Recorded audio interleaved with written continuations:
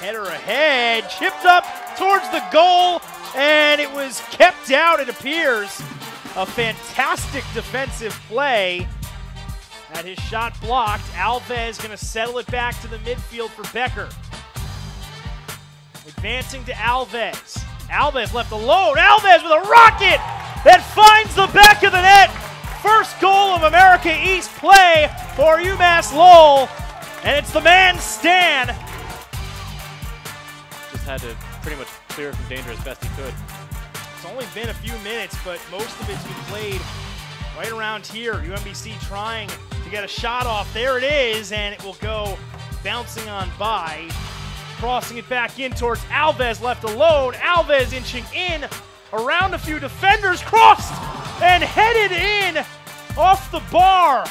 We'll head out to the far corner for the left footed corner kick. Right on goal and in. And now it's waved off.